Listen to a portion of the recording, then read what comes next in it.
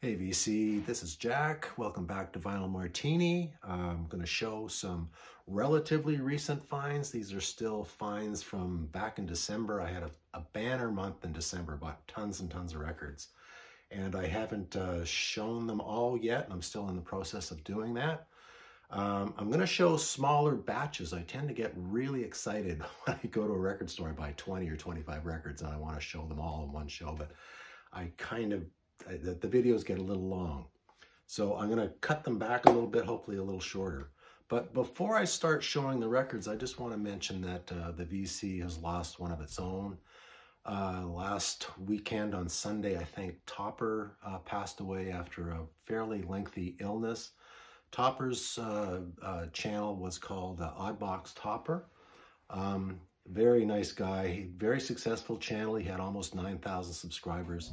And I want to mention him because a lot of the people I subscribe to uh, and people that subscribe to my channel were also subscribers for his channel. So uh, he was a lovely guy. Um, he'd been, I think he had a channel for about four years. He's one of the first guys that I ever watched on the VC and he really influenced me and uh, really inspired me to do my own thing. So I just want to pass on some condolences to his family, of course, and his friends, and all of us in the vinyl community who are going to miss him. He was what I'd call a southern hippie gentleman, and emphasis on gentleman. Very nice guy. So let me get on to the records I'm going to show you today. And coincidentally, I'm going to show you uh, Ten Years After, coincidentally, because this is one of the the records that Topper showed in the last year and a half that he was uh, when he was still doing his uh, when he was still doing his channel. This is Ten Years After their 1968 album Stonehenge.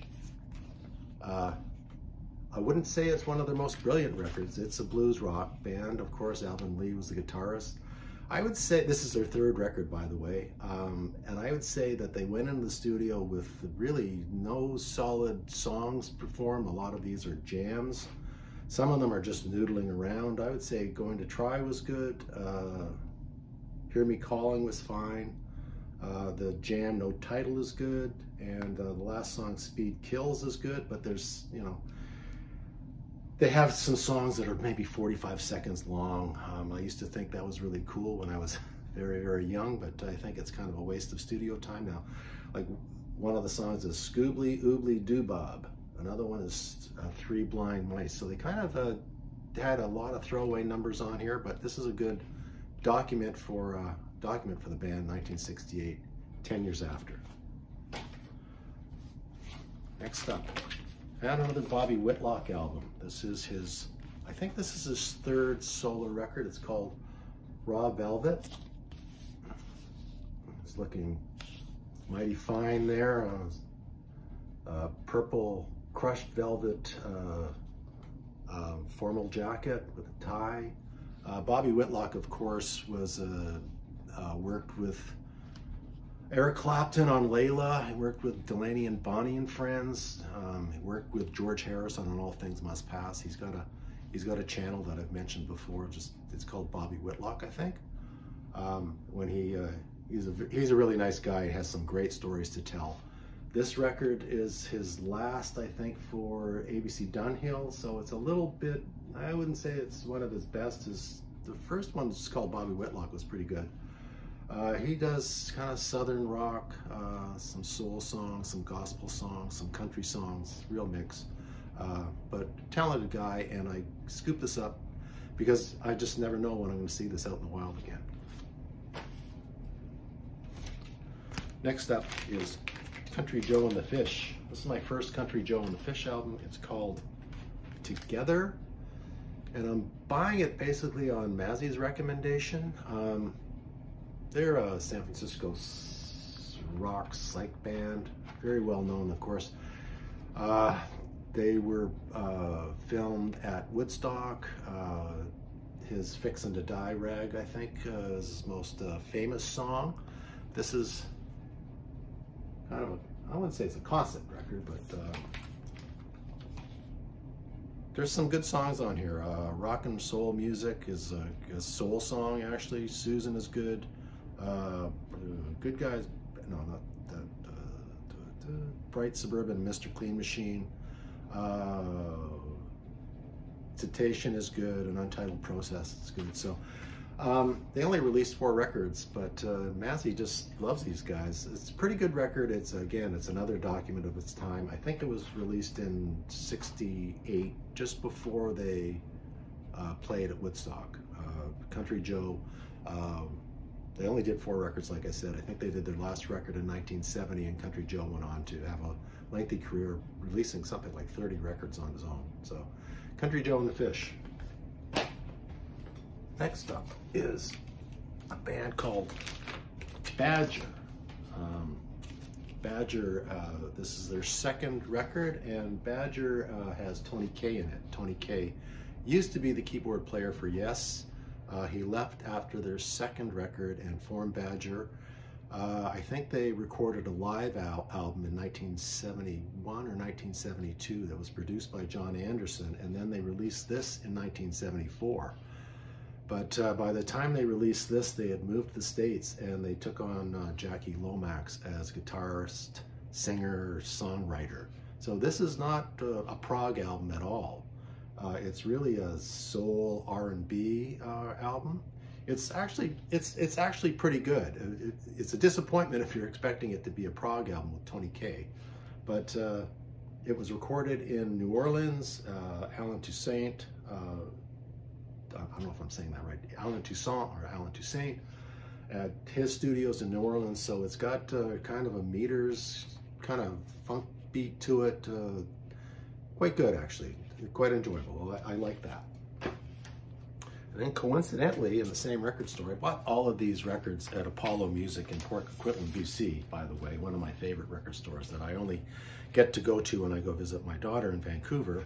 But this is band Flash and it is featuring England's Peter Banks, and it's called Out of Our Hands. Kind of a nice, sorry, Hipgnosis cover, shot of the band, and of course, Peter Banks was the guitar player for Yes at the same time that Tony Kaye was playing, and he uh, left after the second album because the second album was a little more orchestral, and there wasn't very much for Banks or Kaye to do, so they left on their own. They're still in, still had good relations with Yes, but um, this uh, Flash album is pretty good. It's it's almost you can tell that that, that uh, Peter Banks comes from Yes. It's very uh. Uh, it's a concept album, uh, songs that are linked. Um, and you can tell just like, like the there's a lot of acoustic guitar on here as, as part of the bass tracks, uh, the, the, the bed tracks for the songs. Very, uh, very yesy. Singer sounds like uh, Jon Anderson as well. But this is their third record, I think. Well worth having. Um, bought it cheap. This cost me, this was $8.99, nine bucks Canadian. Nice record. Next up, something completely different. You know me, I love different genres. Found this beautiful copy of a Waylon Jennings album. It's just called, it's just called Waylon. No, Black on Black. beautiful uh, embossed silver cover, great shape, um, fantastic. 1982. I'm a Waylon Jennings uh, fan. Uh, he uh, does some great songs on here. Uh, Women Do Know How to Carry On. Uh, we made it as lovers, we just couldn't make it as friends. He does a, a version of uh, Folsom Prison Blues and uh, a nice uh, version of Get Naked With Me. And he does a duet with, uh, with uh, Willie, Willie Nelson, Just to Satisfy You. Very great contrast in their vocal styles. They've done a lot of work together, needless to say, as the Outlaws, etc., etc. But uh, Waylon's got that nice bass, gruff voice, and uh, Willie's got that nice tenor, and they, they work well together. So really uh, happy to find this, another Waylon Jennings record. In a similar vein, I've been looking for uh, Jessi Colter records. I haven't found a I haven't found a Jessi album in, that's in decent shape yet.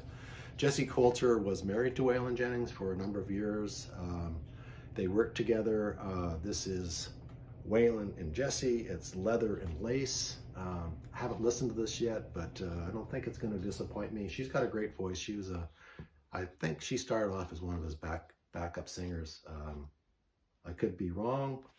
I'm sure that uh, JT would know all about it. Maybe Mike from MGK, but uh, there we go.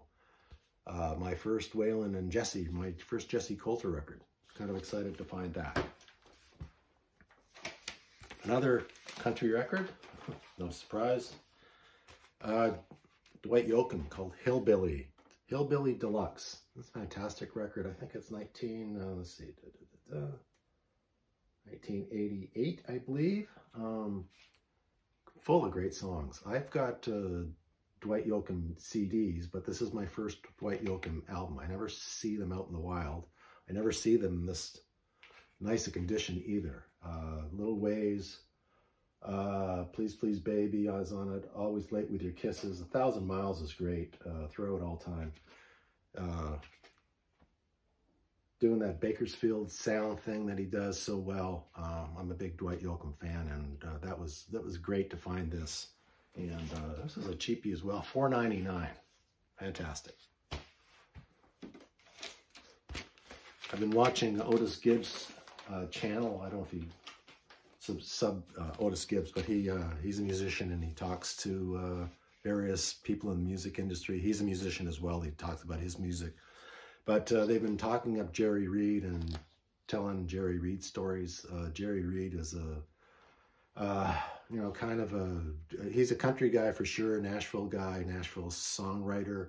Uh, great, great guitar player. That's why I'm going to start buying his records. Uh, some great songs on here. Lord, Mr. Ford. He does Folsom Prison Blues as well. Uh, uh, the Lady is a Woman is good. Uh, One Sweet Reason. But uh, he, a fine songwriter, doesn't, he does covers as well, but a fine songwriter. And there's a story that he went into the studio once with Elvis Presley and they uh, recorded one of his songs. And after the session, they pulled Jerry Reed aside and said, by the way, if, uh, if you want this record to be released on an Elvis Presley record, you've got to share writing credits with, with Presley. And uh, Jerry said, no, I wrote this song. Well, what are you talking about? I didn't know this was going on. And this, of course, happened all through Elvis Presley's career. And, uh, you know, all you have to do is go along to get along. And, uh, you know, you, you, you get a little cash in your pocket because Elvis sold a lot of records, but he just turned them down flat. And they uh, subsequently, I think, I think they went ahead and released it on the Elvis record. I'm not sure of the, the song, but they released it anyways, and Jerry never had to give away his uh, any of his writing credits. So Jerry Reed, and this is on uh, Quadradisc. Next, something a little different. Sorry. And this is a uh, soul, R&B, disco. Ashford and Simpson. I love Ashford and Simpson. They got great voices. They're great writers and producers. Uh, I will uh, pick up any of their albums that I don't have. I collect their records uh, if I see them in a good condition, a good price. Uh, this one is uh, on the Wheel label. Fantastic. Spoiled is great. I Want to Be Selfish is fine. Ain't That Something? Don't Fight It. Um, yeah, Ashford and Simpson. Some great music. Maybe this is my find of the, the find of the batch. It's Patti Smith, The Dream of Life. What a fantastic record. This is a 1988 release. Uh, her first release uh, in nine years, I think. She had met uh, uh Fred Sonic Smith and uh, they got married. And I think she uh, kind of quit the music business for a while. She has, I think they had three kids together uh, back in 1988 with uh, with eight new songs uh, produced by uh, Fred Smith. Fred Smith's on guitars uh, and Jimmy Iovine. So the song that I mean, it, it, was released in 1988. So there's a little bit of that kind of uh, synthy 80s 80s sound, but nothing that's that is detrimental to this. The songs like "People Have the Power," um, "Up There, Down There." uh, Where Duty Calls, and the last song is beautiful. It's the Jackson song. Um, anyways, this is a, uh, another addition to my Patti Smith collection. If you don't have Patti Smith's first four records, I you should. I mean, they're essential records for anybody's collection. Patti Smith. And last but not least, kind of embarrassed to say I didn't have this in my collection, but I found a, a nice copy of Surreal, Surrealistic Pillow from the Jefferson Airplane. And I've got like 20 Jefferson Airplane records, uh, and I just, I never bought this one. And uh, I, you don't have to say too much about this. This is a released in 1967. Uh, this is a Canadian uh, repress from 1969. It's in pretty good condition, pretty good nick. It's a little, some ring wear as you would expect, but uh, the record is mint. So, uh, of course, you know, White Rabbit and Somebody to Love. Fantastic songs. Uh, so happy to have this in a collection. I'm gonna, I'm gonna put it on uh, after I finish this while I'm uh, uploading my video. So Jefferson Starship, oh, not Jefferson Starship, I misspoke there. Jefferson Airplane, before they became the Starship and before they kind of wimped out. Great record. Uh, that's all I got, folks. Thanks for uh, thanks for watching. All my new subs, thank you so much. Um, I've been, I wouldn't say I've been blowing up, but slowly building up my subscriber base. I want to thank all the people that have given me shout outs, all my buddies out there, and all my commentators. Um, I have my regular 20 people or so that always add comments or so. Uh, they're so giving and uh, I, I, really love the feedback. So if you uh, have not subscribed to me, uh, why don't you consider doing so? Hit the subscribe button. Give me a comment. I uh, reply to all my comments. I love them. And uh, till next time, cheers.